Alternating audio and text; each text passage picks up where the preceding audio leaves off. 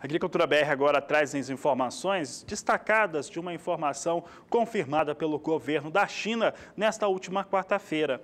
Olha só, a China ela trouxe os destaques para as suas importações de soja durante o mês de novembro, que totalizaram recorde para o período sazonal, chegando a 8 milhões e 700 mil toneladas da oleaginosa importadas pelos chineses. A maior parte dos Estados Unidos, é claro, que é onde tem neste momento o maior volume de soja. Vamos ver aqui os dados. Observe que em novembro de 2017, as importações gerais da China totalizaram 8 milhões e 700 mil toneladas, como eu disse. Desses 8 milhões e 700 mil toneladas, 4 milhões milhões 660 mil toneladas, um pouco mais que a metade, foram oriundas dos Estados Unidos.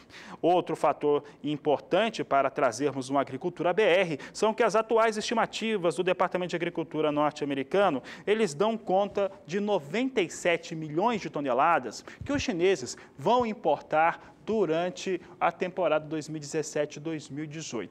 Entretanto, há fatores que podem influenciar e muito esses dados de importação. Um deles é em relação à demanda muito aquecida por proteína animal dentro do, da Ásia, do continente asiático. O que vem acontecendo? Como o consumo tem aumentado muito, isso pode fazer com que se demande mais grãos, principalmente soja, para fazer, evidentemente, a engorda desses animais para Mas isso vai ter uma situação um pouco mais é, favorável para se apontar se é uma tendência ou não. Lá pelo mês de janeiro, pela segunda quinzena do mês de janeiro, vai dar para saber se isso é uma tendência ou não em relação ao consumo de proteína animal na Ásia. Se ela continuar como está, esse número esperado para as importações chinesas na temporada 17 e 18 vão se elevar.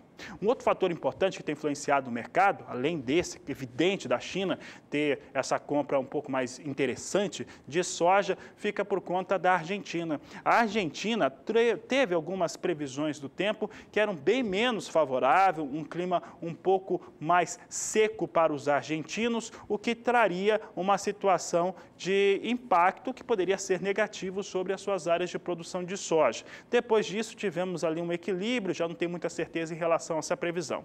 É por isso que nós convidamos agora a Juliana Rezende a participar do Agricultura BR, para ela falar um pouco a respeito dessa previsão do tempo na Argentina, o que pode acontecer por lá, pelo menos no mais curto prazo. Juliana, boa tarde. Olá, boa tarde, boa tarde a todos. As atividades de plantio da soja na Argentina ainda seguem atrasadas, especialmente por conta do atraso das chuvas também. Agora já foram plantados em torno de 70% de lavouras na Argentina. Nos próximos dias tem previsão de chuva, não vai ser uma chuva abrangente e nem com forte intensidade. Dessa vez, pancadas de chuva do centro até o norte da Argentina. Só que o volume de chuva vai ser baixo, em torno de 5 até 15 milímetros nas áreas produtoras mais ao norte da Argentina. Já no decorrer do segundo período, entre os dias 3 até o dia 7 do mês de janeiro, as instabilidades voltam a perder intensidade. O tempo seco vai voltar a predominar, tem pancadas de chuva de maneira muito irregular. E são pancadas isoladas, ou seja, com baixo volume de água. Somente a partir do dia 10 do mês de janeiro é que deve ter condições melhores para a produção de soja na Argentina. As instabilidades ganham um pouco mais de intensidade, aí tem previsão de pancadas mais expressivas e com potencial para garantir o aumento da disponibilidade hídrica do solo. Então, agora, ao longo das próximas semanas, até pelo menos o dia 7 do mês de janeiro, o cenário ainda não deve ser muito otimista para a produção de soja na Argentina, porque não tem previsão de chuva abrangente e nem com forte intensidade e com potencial para garantir o aumento dos índices de umidade do solo.